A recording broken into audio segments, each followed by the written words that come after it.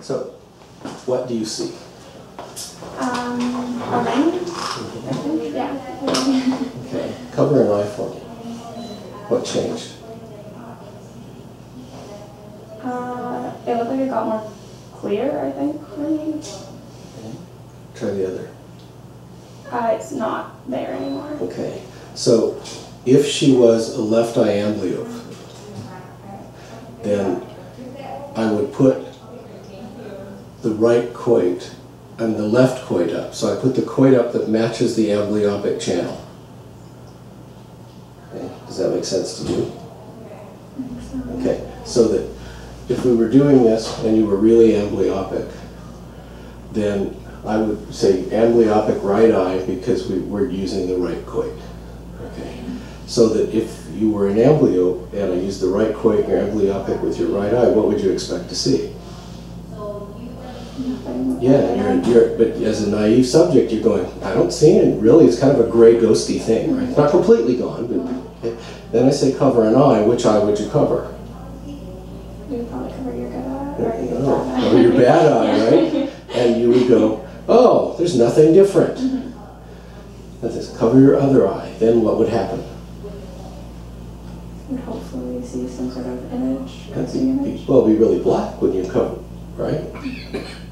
Just like what you saw. Mhm. There's two, there's the ghost image and the clear image.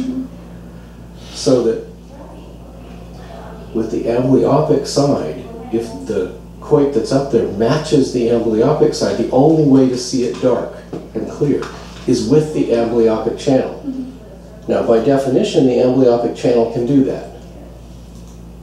And we use a big target without a lot of detail because amblyopic channels aren't really good at detail. They like big. Mm-hmm. So if you look through the middle and you're going to get one nice dark one. And your job would be to walk back and forth and keep it nice and dark. Even if you have to cover the other one with your hand, mm-hmm. then you won't have to. Mm-hmm. Okay. So we've now got to where you can do that. Now, there's a couple of pieces to that.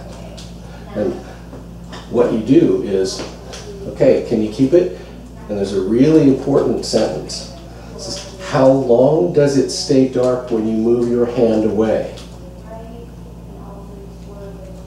So they've agreed when they when they when they say when they answer that it does stay lit up when they take their hand away. And also we're using the bare hand cupped with the eyes open, not a patch, because we want them to be in charge of that which they're seeing.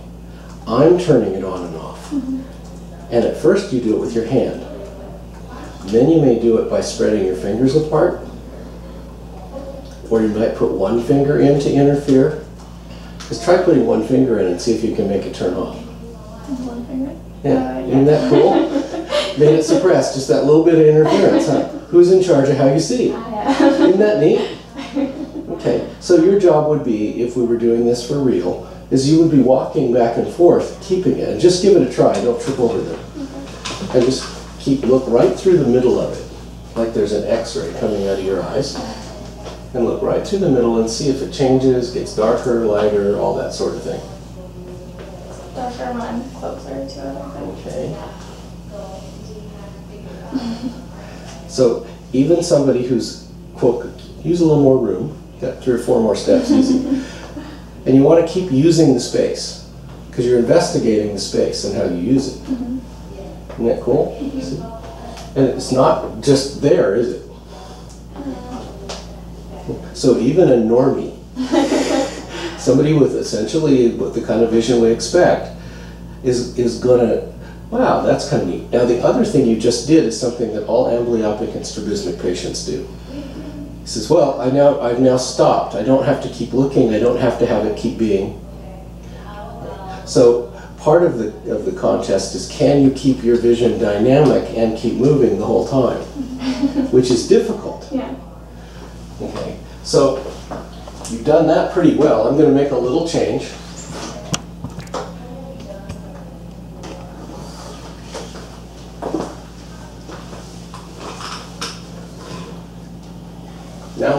Now what's what do you have? Uh, two rings on top of each other. Okay, keep watching. And keep moving. so where, where we need a sharp stick. Okay. You have your hands locked together for a reason, and you're, and you're walking on eggs. How, how is this happening to you? Do they change? Um, oh, I think so. The bottom one looks a little bit more blurry um, than the top one to me. Mm-hmm. And can you change that? Are you in charge of it? Um, yes, I can make it more clear if I Oh, okay. focus on it more. Well, that's kind of a nice thing.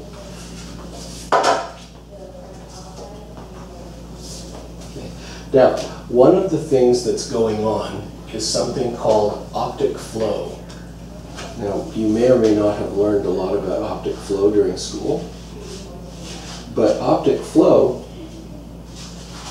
is when the things beside you move the other way from you so that you're moving forward this and optic flow is a binocular thing it's happening in both eyes and both eyes are seeing it even if you're a dense amblyopia so the movement is critical because it's keeping both eyes awake.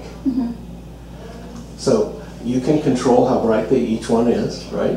Yeah. pretty neat. Somebody who's never practiced it before. So again uh, now what do you see Um, it's a frog kind of jumping, um, but he's like, when I try to focus on it, it like moves a little bit to the side. cover, cover one eye Okay. With my right eye, I just see the frog. No, cover, no close. Co- Say, it's frog on one side, Yeah. chain on the other. Yeah. So, again, if you were amblyopic, I'm gonna put the high detail frog in front of the amblyopic mm-hmm. channel. Mm-hmm. And I'm gonna put the low detail, nothing going on for the other channel. And now your job is to walk and keep those both stable and clear while you're walking. As it happens, when they were making these vectograms, they asked me and said, well, what would you like? Is there anything in particular you want? I said, well, I want a figure that will sit right in the middle of the chain or the, uh, in this case, I forget the name of it, but the, um, and when, that way, when you're walking, you're keeping all this together with how many eyes? Both of them. in the same place. Isn't that cool?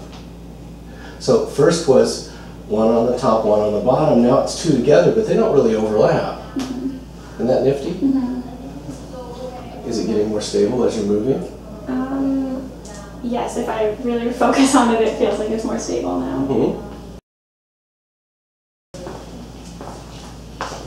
Now what do we have? Um, a dark ring. Keep looking through the middle. Can you tell me anything about where it is? Um, it looks like it's floating towards me. How cool is that? Very. So what I want you to do is put my hand under it.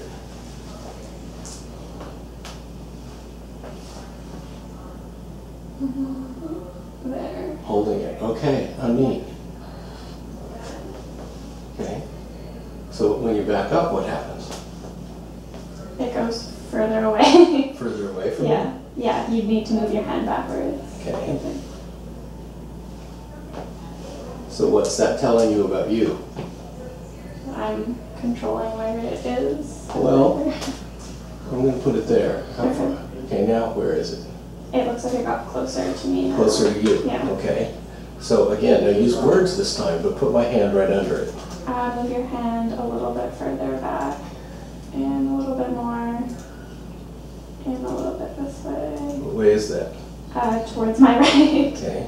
Your, uh, yeah, and then a little bit further back. And it looks like you're right under it. Okay, now back up. Now is it still lined up? Or does it change? Um, it looks like it's still kind of lined up. It's maybe a little bit in front of you now. Ah, so it's moved towards you? Yes. Okay. Is it bigger or smaller than it was? I think it got smaller. You're looking at it, I I, can't I think see it got smaller. Okay. Okay, now, so pay attention to that. I'm gonna Mm-hmm. leave my hand here and walk back and forth. Notice how you you quit moving to try and evaluate it? But it's easier to see when you're moving, isn't it? yes. And How, how cool is that? Yeah. That's why we have you move, because you can see better. Mhm. How